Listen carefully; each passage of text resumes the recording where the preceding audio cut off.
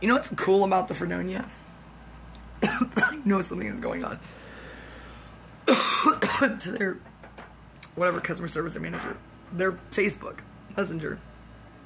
I said a very professional, non-threatening thing, and I said, didn't even mention that I was banned. I said, do you mind mailing me my credit card that I left there, my debit card?